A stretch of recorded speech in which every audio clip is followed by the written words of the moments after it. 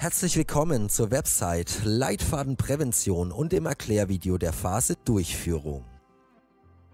In dieser Phase wird das umgesetzt, was Sie in den vorherigen Phasen ermittelt und im Maßnahmenplan aufbereitet haben. Für eine erfolgreiche Durchführung ist Folgendes wichtig die systematische Umsetzung des Maßnahmenplans, die Bewältigung von unvorhergesehenen Herausforderungen, die interne und externe Kommunikation und die Dokumentation des Projektverlaufs. Bei der Implementation der Maßnahmen unterstützt das Planungsteam.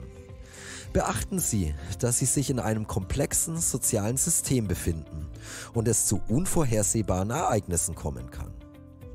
Reagieren Sie auf notwendige Änderungen flexibel und nehmen Sie gegebenenfalls Anpassungen vor.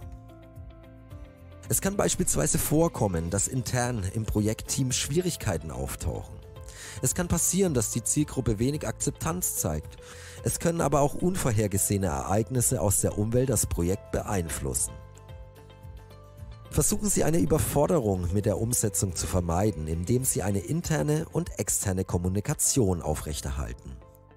Aspekte wie Transparenz, Kommunikation, Ressourcen und Motivation sollten stets im Blick behalten werden.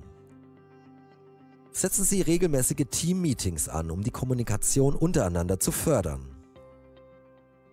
Für eine erfolgreiche Durchführung ist die Dokumentation ein essentielles Instrument.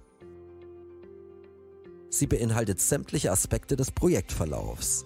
Dazu zählen Ziele, Meilensteine und Vorkommnisse, aber auch Anpassungen und Veränderungen, die im Maßnahmenplan vorgenommen wurden.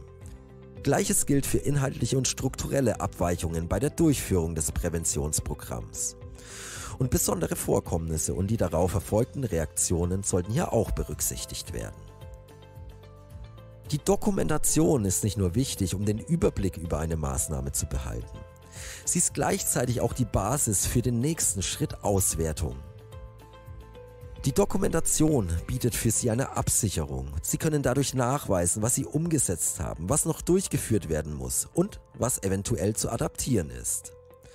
Zusätzlich dient die Dokumentation als Nachweis für die Kooperationspartner und als Grundlage für den Abschlussbericht.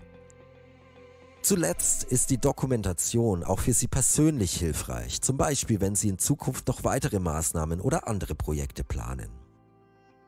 Da Sie nun die Durchführung erfolgreich abgeschlossen haben, fehlt noch der letzte Schritt, nämlich die Auswertung.